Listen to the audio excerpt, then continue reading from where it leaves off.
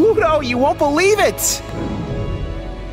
How are you all here? Turns out the Earthlings changed their mind definition of what a planet is. Size doesn't matter anymore for planets. Oh boy. Is this really happening?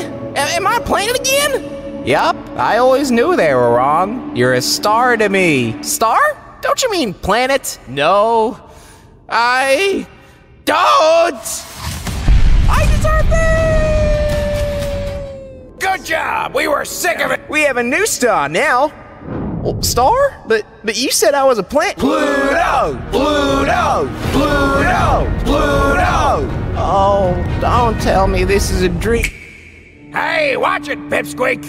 You're looking like a real Pluto right now! Oh, good Yeah. one. He's such a Pluto! Oh, stop being such a Pluto, Mercury. Ugh, planets.